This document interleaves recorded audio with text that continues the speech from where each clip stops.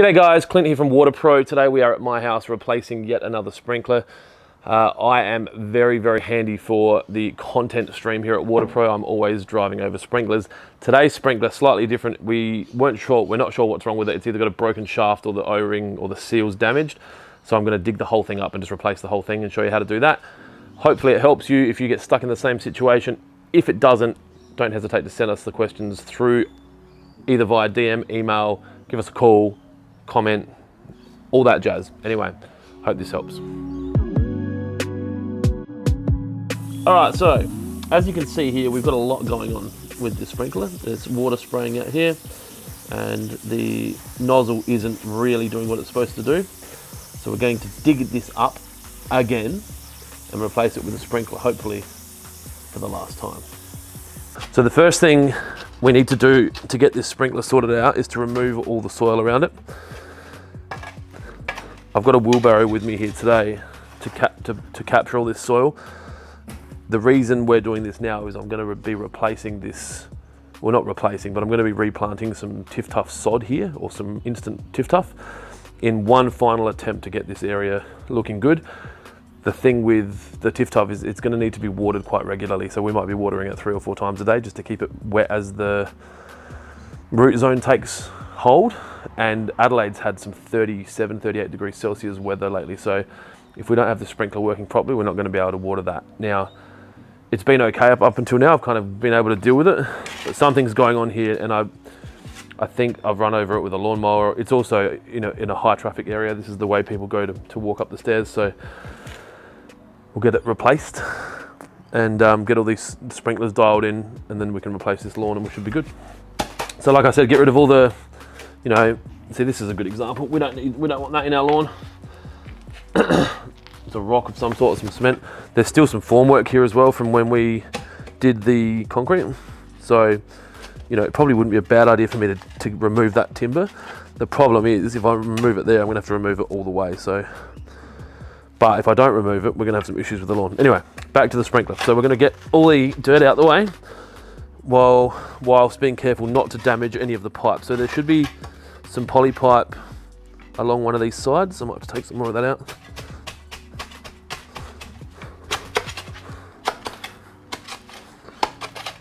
See, I'm hitting rubble now. So that's from the concrete prep. There we go. So there's some poly pipe there, which I haven't damaged, which is good. Damaging poly pipe so close to two uh, cement slabs could be a real pain um, because there's, if you have a look there, there's actually pipe there and there's pipe there. If I broke that, I'm gonna have to try and get a joiner in there. So really important to take extra care when you're digging out around a sprinkler. The time that you take, the extra time that you take when you're clearing this out, even if you use your hands or if you use one of your kids or um, I don't know if you don't have kids, the neighbor's kids, go steal some something small, a shovel, uh, and you can dig out around this sprinkler. And trust me, it'll be worth that extra time because replacing, like if we break any of this pipe now, uh, it's gonna be a real pain. And I probably won't do it today. I'll lose my shit and disappear. So, should be able to just undo that. So I'm just taking the top off at the moment. So one thing about most sprinklers that's really handy is in a lot of cases you can keep that base canister in and just replace this. I don't know what's wrong with this sprinkler. I assume either the seal's damaged or the shaft is damaged because there was water spraying out of the side. So what I'm gonna do is just give this a, a, clean off and try and see if I can identify what's wrong with it. If I can find that it's this part that's broken and not the canister, I won't need to replace I don't know where I put the other sprinkler. I won't need to replace the whole sprinkler. All I'll need to do is replace this. If it was a case that I just had to replace this, I wouldn't have had to dig it up as much. I could have actually just taken this out. The risk is if you just take this out and you haven't dug it up and you do find that it is the canister that's broken, you're gonna be digging the canister out anyway and there's risk of getting dirt in there.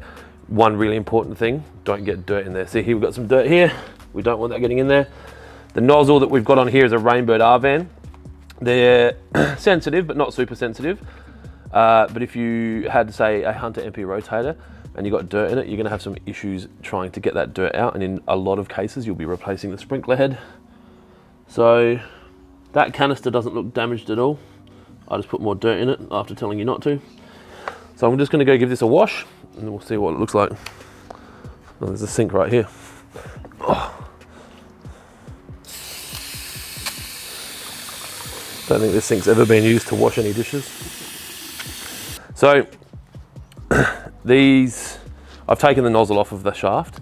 You can now take that apart and then you can take the spring off and then all of that is available for you to look at. So it doesn't really look like there's anything wrong with any of this. Uh, it's really interesting that it was spraying out the sides and I'm fearful that it's it's not the the seal here. The seal's quite hard. You'll find, oh that's a rainbird. Uh, I was hoping to replace it with one that I had in the backyard.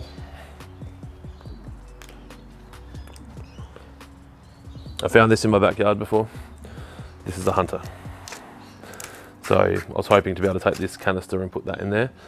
Uh, they are not compatible. So I'm gonna see if I've got any Rainbird bodies lying around that I can use. Otherwise we'll just replace the whole thing. So this one's got a fitting snapped off in it.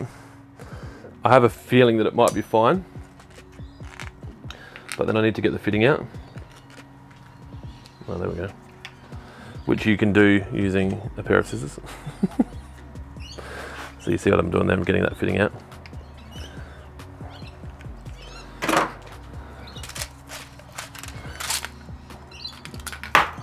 This thing doesn't look in any better condition.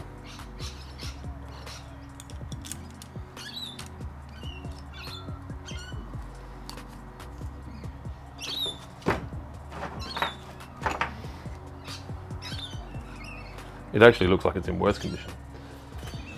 I think in the interest of doing this right, do it right first time, we'll just replace the whole thing with a Hunter body.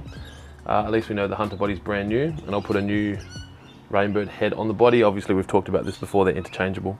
You can put uh, RVAN heads on, or Rainbird heads on Hunter bodies, Hunter heads on Rainbird bodies. Let's go do that. Now, we want to try and get as much of that dirt out of the way There we go, that's what this is for.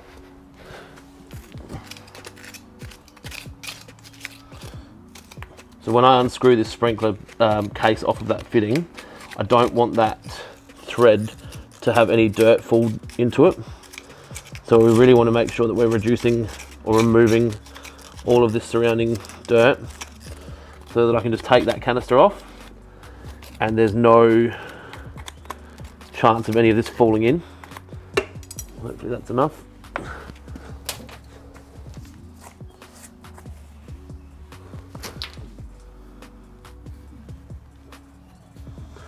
Lefty Lucy. Is that a thing? That's a thing. Is that a thing in England? Yeah, that's a thing. Righty tighty. That's the one. All right, so that's come off. And you can see that thread's completely clean.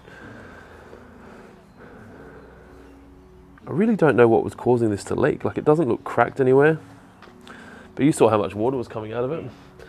So I'm thinking it was probably the, the rubber, the O-ring. So we carefully put the new sprinkler back on. No thread tape. You don't put thread tape on sprinkler threads when you're connecting them to a threaded fitting because they don't need it. And if you do, you've got the risk of that thread tape getting into the into the sprinkler and damaging the internals, especially on gear drives.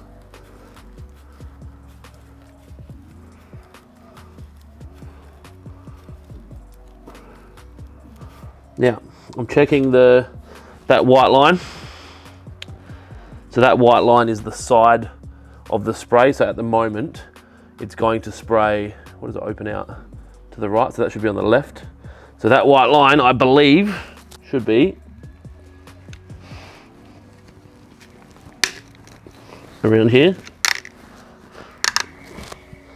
running down this concrete edge, which I've done. Now, you can hear I'm cracking the shaft. That's fine. That noise is not anything breaking. And I'm going to pop that up. GoPros are waterproof, here. So, as you can see, I was right with that left-hand side. It's running down there, probably, like that line's definitely parallel to the cement. Now, with the Rainbird, it's really easy to just grab the head and turn it around to where you want it to water, which I'm going to do that. So you can see that we've got that 90 degree stream and I'll just let go of it and then just adjust as required. So I'm going to bring that back a bit and I'm just looking at what's getting wet. Really happy with that. Uh, I was hoping that would be easy and would look good on camera. So yeah, now if you have a look at the rest of the area, the sprinklers are all doing close to what they need to do. There's one that's jammed right down on that right hand side, it's not turning. That's another lawnmower special thanks to me. So we'll try and find a nozzle for that uh, and get that sorted out today as well. That's easily just, that's simply just screwing that off and screwing it on. I'm going to turn this off now because I don't want the area to get too wet because we're about to replace this lawn, uh, this area. We're about to plant some lawn where I'm watering and that will make it a little bit hard. So finally, what I'm going to do is pack this in and just bring that sprinkler out. So if you have a look, the sprinkler's not pointing straight up. I just want to get some stuff behind there, get some, some soil behind there and hold that when I backfill this. I won't backfill it now because I'm going to dig some more area out and it just it's not, not much point. Uh, and then that's it. You don't have to do anything more than that. So that's how you replace a broken sprinkler long form. Thanks for tuning in. If you've got any questions or comments regarding this or anything else irrigation, WaterPro are a company that are here to help. Obviously we do sell irrigation and that's how we make our money.